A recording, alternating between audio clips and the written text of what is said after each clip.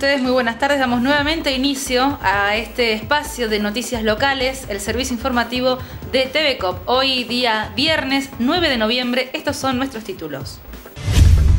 Casi sin daños materiales, con ráfagas de 100 km por hora, el viento tiró árboles y soltó algunas chapas.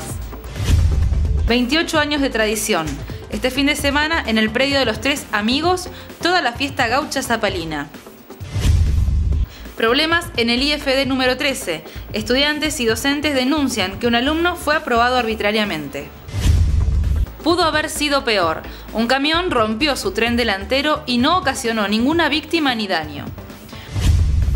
Conferencia de Fuentes, última parte de la conferencia del exdirector del hospital Eduardo Fuentes y las respuestas a las preguntas e inquietudes de los medios de comunicación. Y como todos los viernes, la agenda cultural para la ciudad de Zapala este fin de semana.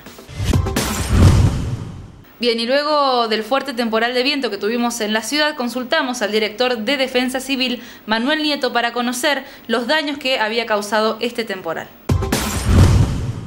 Bueno, estamos con Manuel Nieto, aquí responsable del área de defensa civil. Bueno, eh, Manuel, queríamos consultarte bueno, del viento de ayer, las intensas ráfagas, ¿qué, ¿qué, datos manejaban ustedes? ¿Qué ráfagas tuvimos aquí en la ciudad? Eh, bueno, se, manejó en, más o menos en, en, dos tiempos, digamos, desde que empezó a la mañana, tipo 10 y media, que fueron la que empezó el viento más fuerte.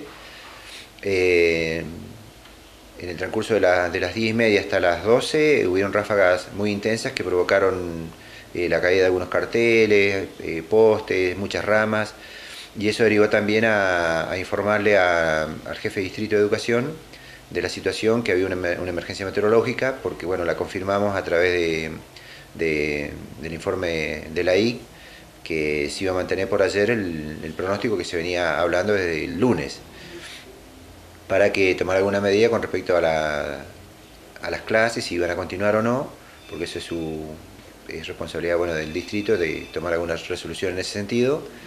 Y bueno, eh, tomó la decisión de suspender las clases turno tarde y turno noche porque no sabíamos hasta qué hora iba a estar el, el viento fuerte. Eh, bueno, en ese horario, antes del mediodía, hubieron varios problemas, incluso con algunos unos techos, con algunas chapas que se habían soltado, en las cuales estuvo trabajando gente bombero también. Y después de la una de la tarde también hubo un ráfaga muy fuerte, que ahí sí hubo algunos árboles caídos, algunos ganchos importantes de, de árboles que se cayeron. ¿En qué zona más o menos? Y tenemos en la zona del bajo principalmente el tema de los árboles. En la zona del alto, bueno, un poco en menor medida, pero sí mucho, muchas ramas sueltas. Uh -huh. Pero en la zona del bajo, árboles caídos por el tema que son de mayor altura. Eh, un tema con un árbol que, bueno, el, el, tema que se cayó fue que por ahí los vecinos, para que no dañe las veredas, le cortaron las raíces muy sobre el tronco y, bueno, no tenía forma de sostenerse bueno, cortes de luz en algunos sectores, eh, los postes telefónicos, como siempre, en algunos sectores también mm. eh, se vieron colapsados. Sí, que ya se ha, se ha, hablado del tema de los postes, de que están en mal estado los postes de, de telefonía. Sí, sí, pero se le envió eh, dos, dos, notas con una gran cantidad de postes informándoles a la telefónica, porque ahora incluso hay que notificarlos a Neuquén, no, acá en, a nivel local no lo, no lo reciben. Este, así que espero que, bueno, que haya alguna respuesta de todos modos. Y varios de esos postes que ayer colapsaron eran los que ya habíamos anticipado eh, anteriormente que estaban en mal estado. Bien.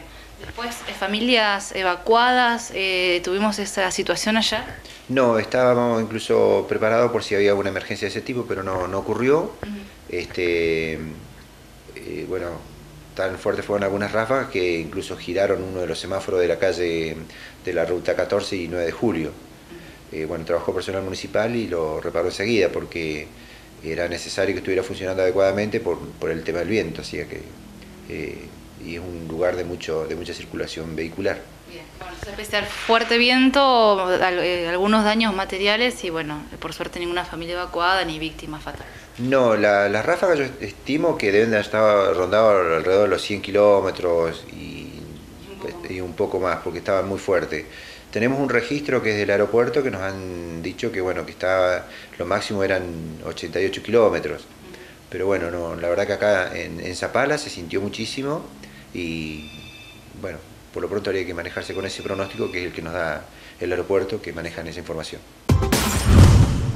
Y con una conferencia de prensa se lanzó oficialmente hoy los 28 años de la fiesta de la tradición, esta fiesta provincial que se desarrolla en la ciudad de Zapala todos los 10 de noviembre. Comenzará mañana con el desfile a partir de las 10 y media de la mañana y luego desde las 14 en el predio Los Tres Amigos allí en el Michacheo. Vamos a ver esta conferencia de prensa que culminó luego con unas ricas empanadas de la mamá del presidente de la asociación El Fortín file exponente y testigo el Michacheo como todos los años, es donde ya va sonando una guitarra payadora, es símbolo fiel del gauchaje. Estamos acompañados por Atilio Zapico, secretario de Obras Públicas de la Municipalidad de Zapala, el señor eh, Daniel Julián, secretario de Hacienda, Gastón Calabró, secretario de Gobierno, Blanca Barrio Nuevo, concejal, Alberto Gambaza, es por el directorio de variedad de la provincia de Neuquén y el gobierno de la provincia que apoya y engrandece el festival, el payador José Yáñez, Elida Fuente y Beatriz Besoki, integrantes de la FR del Michacheo,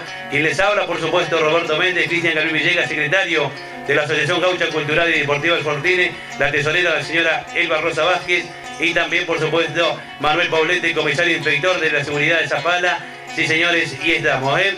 Con el amigo Cides Carlos, también obra y servicio del Departamento Provincial de Habilidad, agradeciéndole infinitamente al gobierno de la provincia de Neuquén, a la Municipalidad de Zapala, al Banco de la provincia de Neuquén, a la Dirección Provincial de Habilidad y así también al gran comercio de la ciudad de Zapala que se nutre de esto que es argentinidad, se empieza a transpirar, a simbolizar esos 28 años de vida que alguna vez algún viejo pionero izara nuestra celeste y blanca bandera en el pago zapalino. Pero bueno, es como no debe estar ajeno y en todo arte campero se anuncia, todo y cada uno de nosotros le damos la bienvenida. Voz cantante, métrica, arte de pensar. Bienvenido al ruedo, payador José Yáñez.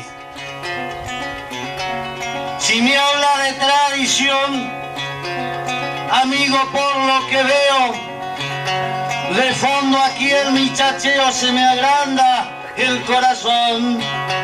Y linda fue su intención aquí hoy el pueblo presente y el canto que representa el canto del payador que fue el más luchador y vino de decir presente. Muchas gracias payador y de esta manera queda inaugurada por supuesto el lanzamiento oficial de los 28 años de vida de esto que anualmente se transpira la camiseta pero bueno con todas estas instituciones intermediarias la verdad que se nos hubiera puesto muy pero muy difícil para ello y a cargo también eh, es del directorio y ejecutivo municipal Gastón Calabró, el secretario de gobierno, va a hacer sus palabras también eh, a continuación a través de lo que brindará estos 28 años de vida. Bienvenido Gastón, lo recibimos con un fuerte aplauso. Gracias Roberto, gracias Cristian, gracias a toda la organización. La verdad que la municipalidad ha querido estar presente en la inteligencia de que estamos siempre tratando de fomentar y de impulsar y incentivar a los vecinos a participar de todas las expresiones del arte posibles.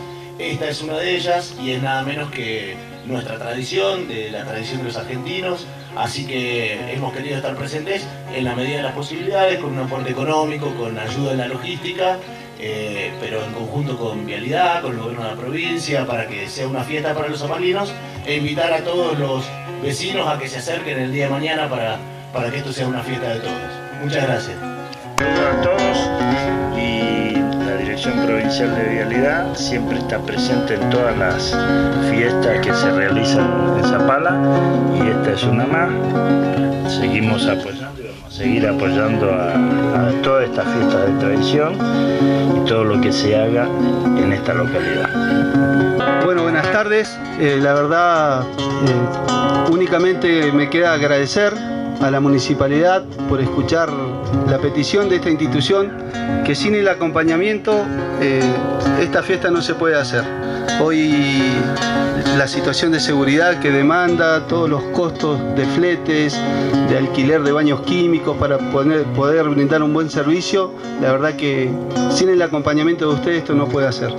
¿Sí? Gracias también a la Dirección Provincial de Vialidad, al Gobierno de la provincia de Neuquén, al Banco Provincia, sí que han visto en esta institución por ahí la seriedad legal y la seriedad también en el trabajo. Así que únicamente agradecerles y por ahí pedirles que sigan acompañando porque estas cosas sin el acompañamiento institucional no se puede hacer. Así que muchas gracias. Bueno, cuando se origina la primera edición de la fiesta de Jineteada y Tradiciones, estuve como responsable de la seguridad siendo un joven oficial y también colaborando estrechamente con quienes estuvieron y desarrollaron un esfuerzo muy grande para llevar a cabo la primera edición. Y después este, continuamos siempre vinculados a veces en las actividades de coordinando alguna vez como, como jurado en otras, como planillero en alguna jineteada. Eh, junto a todos los muchachos de la época que convivimos cada una de las fiestas que se realizan en, esta bendita provincia.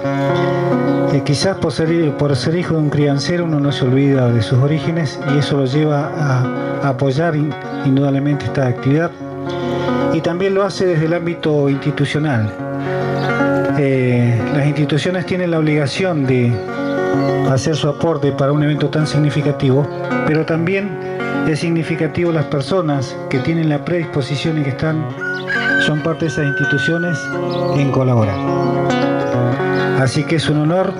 Eh, realmente yo pensé que iba a ser como cuando despedimos los jinetes de Jesús María, un asado el año pasado también este, gracias Roberto, Cristian y al resto de la gente, porque hay varios que, que silenciosamente trabajan durante todo el año y que el trabajo es incesante previo a una fiesta de esta envergadura. El anhelo, indudablemente, que se desarrolle esta fiesta como debe ser, que sea un festejo más allá de la seguridad, como decía Cristian, que ellos deben contratar porque tiene, es una modalidad de contrato de seguridad pero nosotros también hacemos nuestro aporte en seguridad, pero esperamos que la intervención no sea necesaria. El anhelo de una edición más de esta fiesta que día a día hacen grande un grupo de personas que se la pusieron al hombro y luchan para que año a año Zapala tenga su fiesta de jineteadas y tradiciones y que gracias a Dios también tienen en cuenta y recuerdan a quienes nos precedieron. Muchas gracias Roberto. De esta manera, por supuesto, ha quedado concluida la inauguración oficial de los 28 años de la fiesta provincial de jineteadas y tradiciones, con el aplauso de ustedes para decirles que este vínculo se forma entre caballos y hombres que alguna vez llegaran en manada a los reservados a los pagos de Zapala, para comentarte que el gaucho primer patriota quien puso en marcha la historia, se hizo grande en la victoria y más grande en la derrota. Lanza, poncho, espuela y bota, llevó como por instinto y abrió un camino distinto con rústicos elementos, llevaba el lazo a los tientos, las boleadoras al cinto. Soldado en esos momentos sin ser militar de oficio, sin reclamar beneficio, galones o monumentos, constructor de los cimientos de una patria sin virreyes, por no conocer más leyes que la sangre de su vena, luego a la tierra ajena tras una yunta de bueyes. Muchas gracias, payador. Y de esta manera eh, desconcentramos con el aplauso de ustedes y un grito fuerte, ¡Viva la patria! Entonces, este fin de semana comienza con el tradicional desfile a las 10.30 horas desde Avenida San Martín. El desfile irá hacia el predio del ferrocarril, tomará la calle Cheluz, posteriormente Mitre, Avellaneda, hasta llegar al monumento José Hernández como todos los años. Luego, a las 14 horas, comienzan las destrezas criollas, jineteadas y stands, entre otros atractivos, en el predio de los tres amigos en el Michacheo. Esto hasta las 20, porque 21 a 30 horas se dará inicio al baile. El domingo continúa toda la fiesta desde las 14 horas. La entrada para la jornada del día sábado cuesta 30 pesos y el domingo 40 pesos. Bueno, hagamos una pausa comercial cortita y luego continuamos con más información aquí en la pantalla de Canal 13.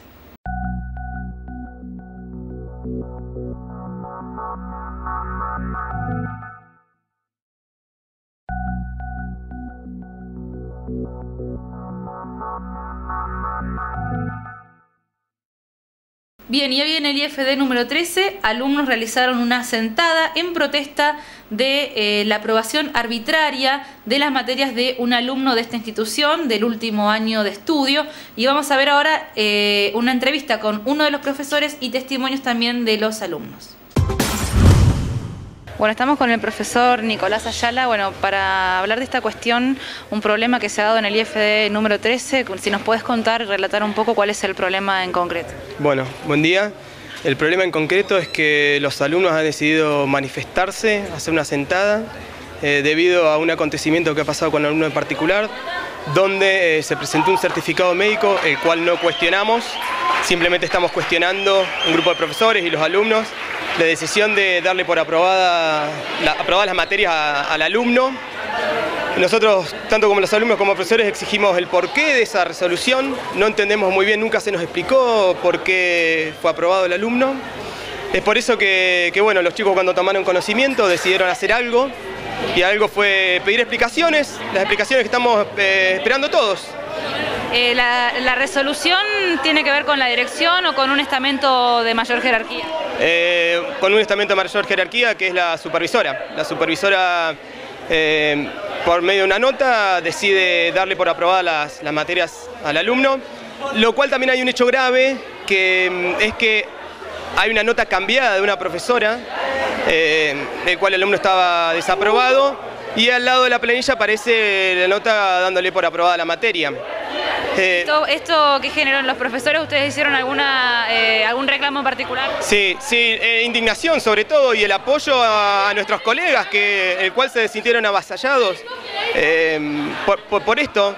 es verdad que hay algunos profesores que, que delegaron en la dirección la nota, pero también hay que tener, tomar en cuenta las circunstancias, profesores que se fueron muy mal de la escuela el día de ayer llorando, eh, debido, yo lo llevaría a una presión, porque es una presión decir a un profesor que, tiene que aprobar.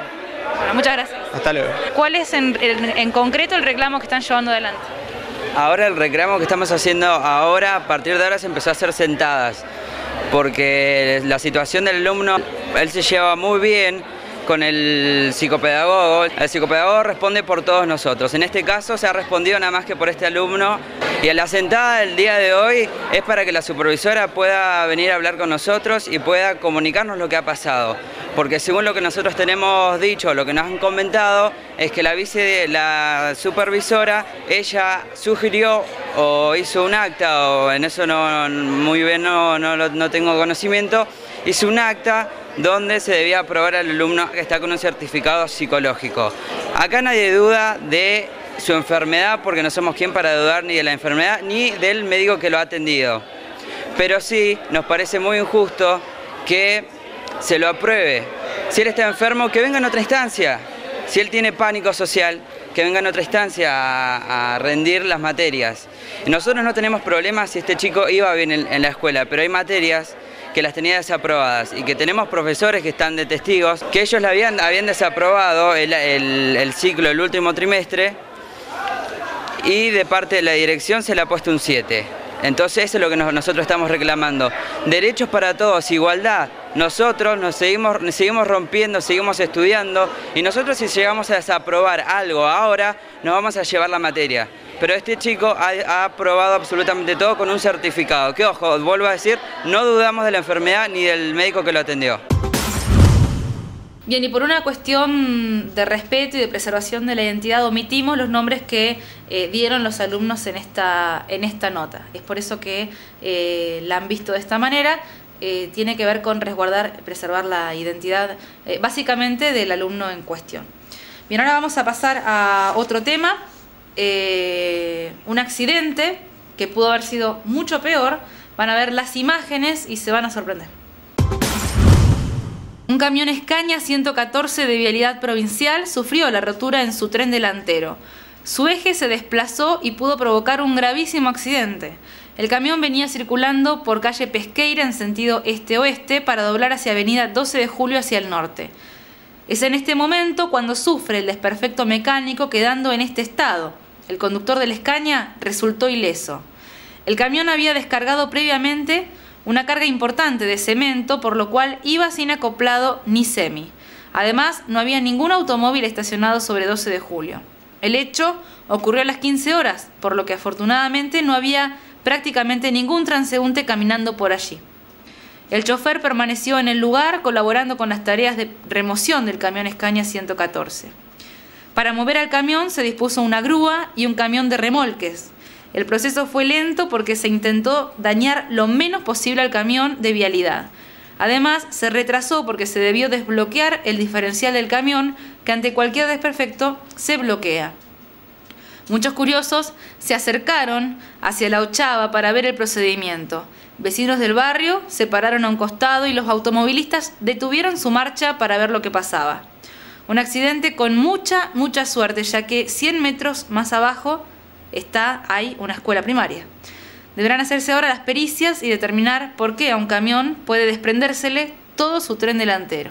Esto pasó hoy en el denominado Sector 3 o barrio Arturo Cruce, allí en el Alto Zapalino, una avenida con mucho tráfico, como es la avenida 12 de Julio, y este accidente que ocurrió, según nos dijo el, chofer del camión, aproximadamente a las 15 horas, el conductor del camión resultó ileso y bueno, eh, tiempo después estuvo colaborando con este procedimiento que pretendía sacar, quitar el camión de la calle 12 de julio, para ello se usó entonces una grúa y un camión de remolques.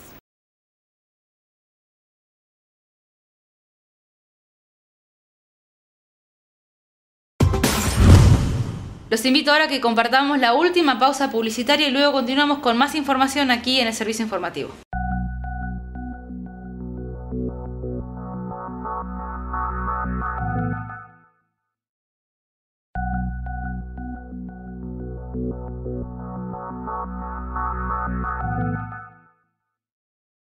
Bien, y hoy vamos a ver la última parte de la conferencia de prensa del director, del exdirector, perdón, Eduardo Fuentes, del exdirector del Hospital Zapala. La tercera parte en la cual contesta distintas preguntas de eh, los periodistas, de los colegas que se acercaron al auditorio de Radio Nacional para escuchar y ser parte de esta conferencia de prensa.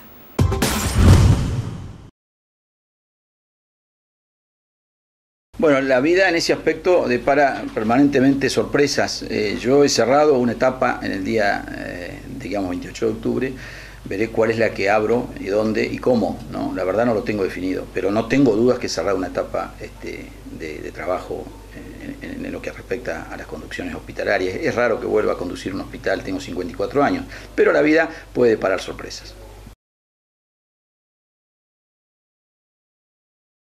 Hay eh, tratativas, este, he tenido varias ofertas laborales, gracias, este, gracias a Dios, este, algunas de Zapala, que destaco mucho, se han acercado profesionales de, las clínicas a, ofrecernos tanto a Patricia como a mí su, apoyo y su incorporación a la tarea. El diputado Canini me ha hecho ofertas laborales y están en consideración. Estamos en una etapa, la verdad, de afectación, pero estamos considerando ofertas laborales, es así. Totalmente, me sorprendió, porque era una de las pocas personas que eh, por los pasillos del hospital eh, denostaba nuestra tarea y nuestro trabajo, eh, la que pusieron en la jefatura de zona. Es así, de las pocas personas. Es más, es una de las pocas personas que este, hacía observaciones de altísima virulencia contra la terapia que estaban haciendo y que exigió en su momento mucho cuidado, porque es una, la terapia tiene en sí mismo una carga altísima responsabilidad, porque voy a ser un poco duro la terapia maneja mucho más cerca a la muerte que las otras salas. Entonces el trabajo en la terapia debe ser un trabajo de mucho respeto porque si no las cosas se pueden complicar. Así que aquellas personas que irrespetuosamente eh, observaban la tarea de los colegas al inicio de este proceso y que ahora se jactan de la terapia del Hospital Zapala, que las pongan en esa función, claro que me llamó la atención, sí, sí.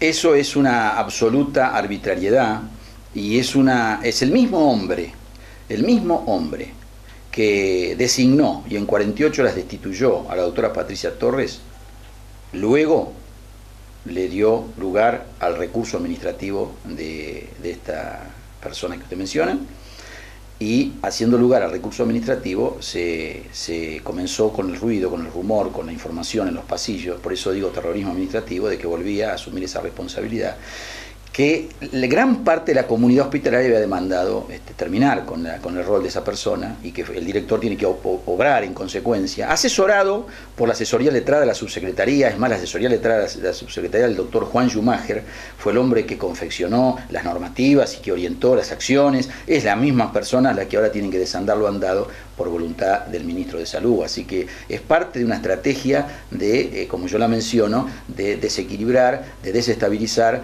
y de tomar el poder por asalto en el Hospital Zapala.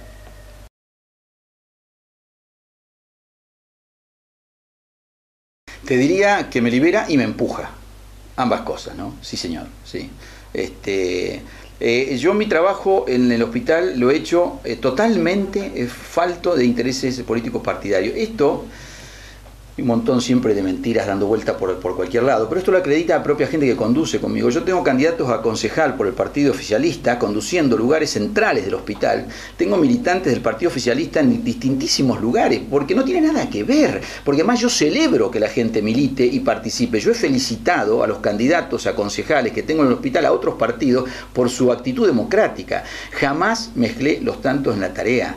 Obviamente hay quienes las mezclan, hay quienes buscan, hay una diferencia central entre el modelo que perseguimos nosotros y el modelo que persiguen ellos. Para nosotros el sujeto es una persona a respetar, a acompañar en su crecimiento. Para ellos es una persona a cooptar y a utilizar en, sus intereses. ¿no? Entonces, a partir de esa visión, todo se desordena para quien quería este silencio. Y claro que sí, claro que yo vuelvo con total fortaleza a la, política, a acompañar a la intendenta Soledad Martínez en la ciudad de Zapala, acompañar el proyecto que estamos armando con Rodolfo a nivel provincial, claro que sí.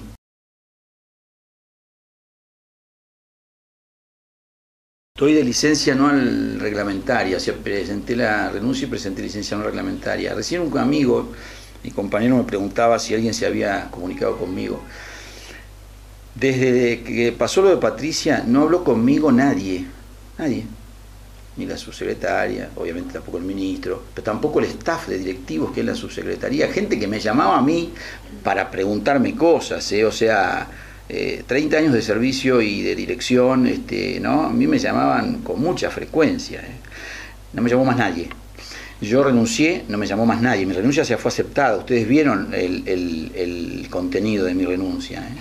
Mi renuncia fue aceptada en la disposición 1805, sin observación de ninguna naturaleza. Este, el reconocimiento a que esto es una razón política está instituido en la aceptación de la renuncia en forma clara y administrativamente inobservable. Así que el tema está cerrado para mí. También una de las razones de mi demora con la prensa también tenían que ver con eso.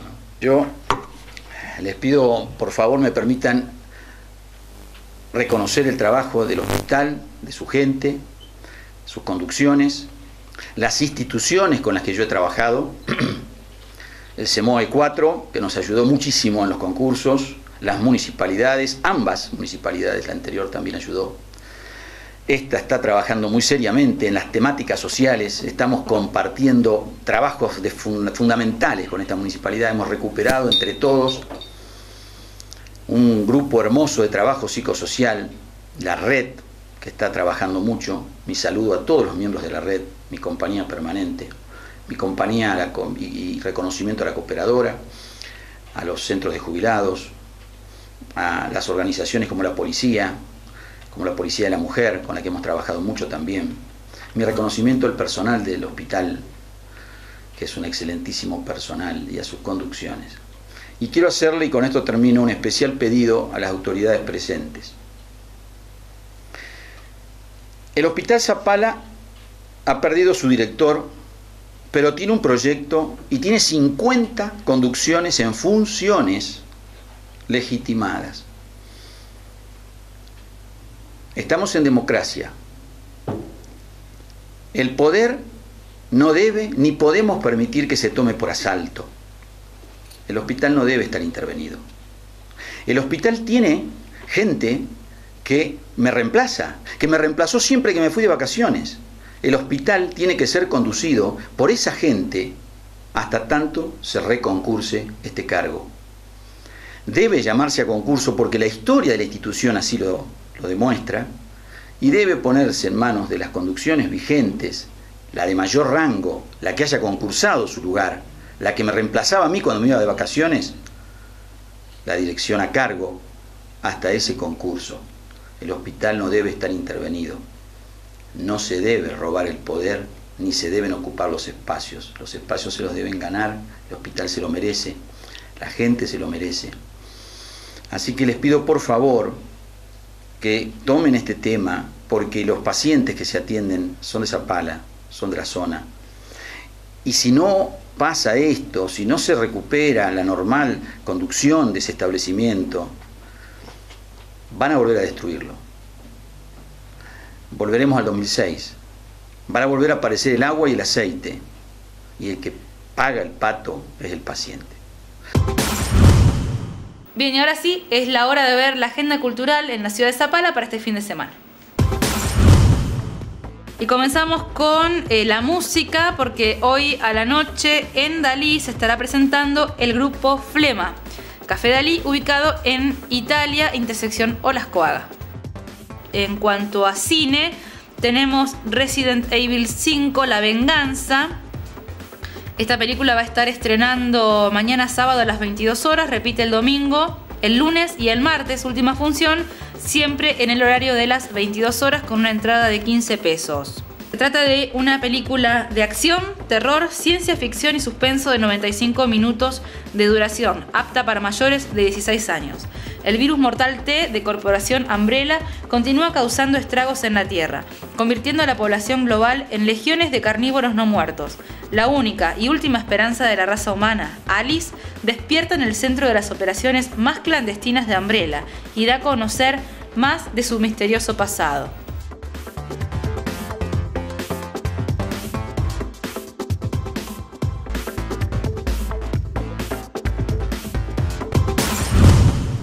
Bien, y ahí veíamos parte de la agenda para este fin de semana con el cine, con recitales en Dalí.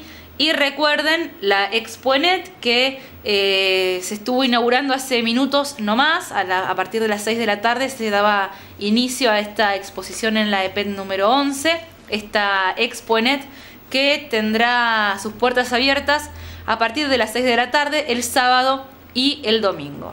Y también, como eh, desarrollábamos previamente, recuerden que mañana 10 y media el desfile por el Día de la Tradición en la Avenida San Martín hasta el monumento a José Hernández y a partir de las 14 horas en el predio de los Tres Amigos en el Michacheo. Serían también eventos importantes a tener en cuenta en, nuestra ciudad este fin de semana. También eh, recuerden que está la expo de los talleres Don Bosco. Ahora sí vamos a ver el pronóstico del tiempo. Tendremos un fin de semana a puro sol para disfrutar todas estas actividades que veníamos diciendo recién. Mañana sábado estará despejado con una mínima de 9 grados y una máxima de 22 grados centígrados, vientos leves de 15 a 30 kilómetros por hora del cuadrante este. El domingo se repite este pronóstico, el cielo también despejado, mínima, entre 10, eh, mínima de 10, máxima de 23 vientos leves de 5 a 30 kilómetros también del cuadrante este. El lunes comenzamos la semana con el cielo despejado, mínima de 11, máxima de 24, vientos leves de 10 a 35 kilómetros por hora del cuadrante este. Un pronóstico bastante estable para este fin de semana, con temperaturas mínimas entre los 9 y los 11 y máximas entre los 22 y los 24. El viento no nos va a molestar, no vamos a tener viento este fin de semana. Más noticias. La legislatura aprobó designación de Taboada como fiscal de Cámara. Con 30 votos a favor, 3 en contra y 2 ausencias, la legislatura aprobó el nombramiento del actual fiscal de graves atentados, Sandra González Taboada, como titular de la Fiscalía de Cámara de Zapala. Solo rechazaron el pliego los bloques de Unión Popular y Frente de Izquierda. Bien, y esto ha sido todo por hoy. Que tengan un excelente fin de semana, que aprovechen, que disfruten del buen, tiempo luego del temporal de viento que tuvimos. Y nos reencontramos el lunes con más noticias aquí en la pantalla de Canal 13 TV